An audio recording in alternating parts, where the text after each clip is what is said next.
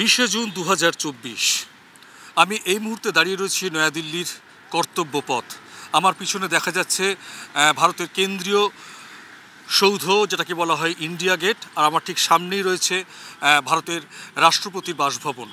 আমরা জানি যে গত নয় জুন, তৃতীয়বারের জন্য কিন্তু প্রধানমন্ত্রী নরেন্দ্র মোদীর নেতৃত্বে এনডিএ সরকার মন্ত্রিসভার গঠন হয়েছিল। সেই মন্ত্রিসভার শপথে কিন্তু ভারতে এসে পৌঁছেছিলেন বাংলাদেশের প্রধানমন্ত্রী শেখ হাসিনা, প্রধানমন্ত্রী নরেন্দ্র মোদীর আমন্ত্রণে।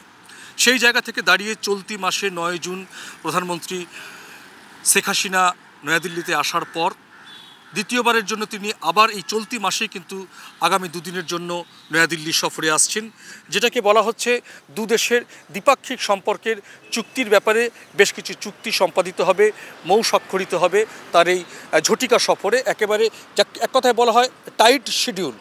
আগামীকাল ভারতীয় সময় দুপুর দুটোয় নয়াদিল্লির পালাম বিমানবন্দরে তার বিমান অবতরণ হওয়ার কথা।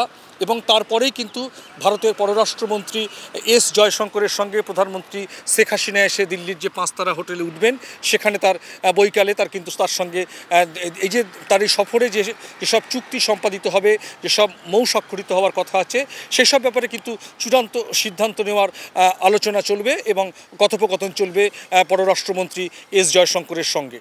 এবং তার ঠিক পরের দিন সকালবেলায় কিন্তু তাকে বাংলাদেশের প্রধানমন্ত্রীকে গার্ড অফ অনার দেওয়া হবে ভারতের রাষ্ট্রপতির ভবনে দ্রৌপদী মুর্মুর যা- বাসভবন সেখানে তাকে কিন্তু সকালবেলায় গার্ড অফ অনার দেওয়া হবে এবং তিনি কিন্তু সেখানকার পরিদর্শন করবেন পরিদর্শন যে ডায়েরি রয়েছেন সেখানে তিনি স্বাক্ষর করবেন, তারপরে তিনি চলে যাবেন নয়াদিল্লির রাজঘাটে, সেখানে কিন্তু মহাত্মা গান্ধীর স্মৃতিসৌধতে তিনি পুষ্পার্ঘ্য অর্পণ করবেন, আবার তিনি ফিরে আসবেন প্রধানমন্ত্রী রাষ্ট্রপতির বাসভবনে সেখানে মধ্যাহ্ন ভোজে তিনি অংশ নেবেন এবং বিকেলের দিকে, পরশু দিন বাইশে জুন বিকেলের দিকে কিন্তু নয়াদিল্লির যে হায়দ্রাবাদ হাউস আছে, সেখানে দু দেশের রাষ্ট্রপ্রধানের সঙ্গে, অর্থাৎ বাংলাদেশের প্রধানমন্ত্রী এবং ভারতের প্রধানমন্ত্রীর সঙ্গে একটি যৌথ বৈঠক হবে।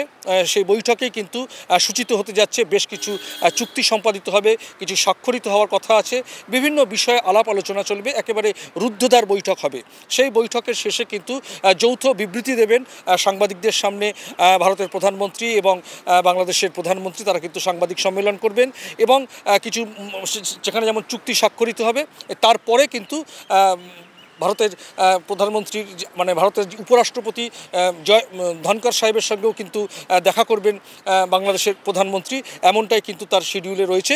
ভারতের বিদেশ মন্ত্রক সূত্রে কিন্তু এটা আমরা জানতে পেরেছি। আজ সকালেই নয়াদিল্লিতে এসে এবং আমরা বাংলাদেশের যে হাইকমিশন অফিস আছে নয়াদিল্লিতে, সেখানেও আমরা গেছিলাম। তার এই সফরসূচি সম্পর্কে আমরা অবগত হয়েছি। সেখানকার যে বাংলাদেশের প্রেস মিনিস্টার রয়েছেন শাবান মাহমুদের কাছ থেকেও আমরা তার বিস্তারিত জেনেছি এবং দিল্লিতে কিন্তু বিভিন্ন কূটনৈতিক মহলে যারা শীর্ষ আধিক আধিক রয়েছেন এখানকার সাধারণ মানুষ রয়েছেন, ভারত বাংলাদেশ সম্পর্ক নিয়ে যারা সবসময় অনুধাবন করার চেষ্টা করেন, যেসব পররাষ্ট্র নীতি নিয়ে যারা পড়াশোনা করেন, তাদের কিন্তু সকলে কিন্তু কৌতূহল যে তৃতীয়বারের প্রধানমন্ত্রী নরেন্দ্র মোদী ক্ষমতায় আসার পরে কিন্তু একেবারে প্রতিবেশী রাষ্ট্র সেখানের প্রধানমন্ত্রী শেখ হাসিনার কিন্তু একেবারে চলতি মাসে দ্বিতীয় মানে দুবারেই কিন্তু, দুবারে সফরে আসছেন।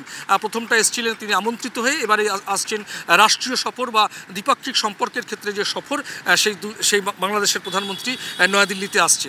সেই জায়গা থেকে আমরা জানি যে ভারত এবং বাংলাদেশের সম্পর্ক কিন্তু অত্যন্ত সুনিবিড় এবং সেটা পরীক্ষিত। কিন্তু দুদেশের কূটনৈতিক মহল বা সাধারণ মানুষের কাছে কিন্তু একটা প্রশ্ন, ভারত ও বাংলাদেশের সম্পর্কের ক্ষেত্রে তিস্তা চুক্তি এবং অমীমাংসিত কিছু বাণিজ্যিক সমতা সেই জায়গায় কিন্তু একটা ফারাক দেখা যায়।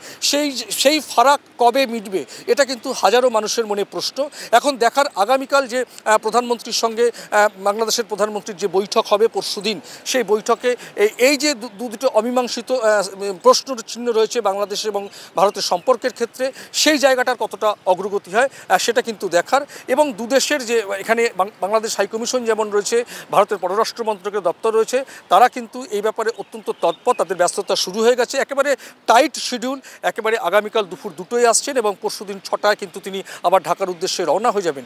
সেই জায়গা থেকে কিন্তু একেবারে ব্যস্ততা যেমন তুঙ্গে, তেমনি আমরা আজকে দেখলাম সকাল থেকে কিন্তু এই কর্তব্য পথ।